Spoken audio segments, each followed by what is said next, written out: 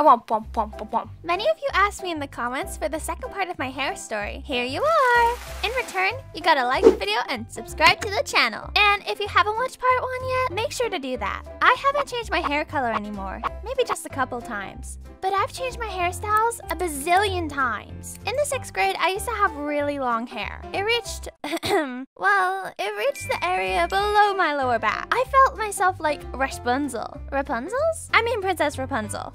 Only the bug in this fairy tales was that I had to brush my hair at least once every three hours. Otherwise, I got a huge nest on my head. But love my hair, and I didn't want to do anything with it. I had dyed my hair to the point I didn't allow my classmates to braid it. Wow, you've got such long hair. May I braid it for you? No! May I braid one? No! Please? No! What about no? Besides, girls, there are always boys. You've heard about some of them in my previous stories. So we had one boy in our class, or I'd better call him a buster. He was a bad student, wore sports suits instead of classic ones, and had serious articulation troubles. He often booked girls and drove them to tears. One day, Claire, sit at the third desk. is it final? You share a desk either with him or with Sam. Huh? Oh well, at least he doesn't stink. I was sitting with this buster and everything was fine. But then I smelled something burning. Can you smell smoke? Yeah, they might have burned a chicken in the kitchen.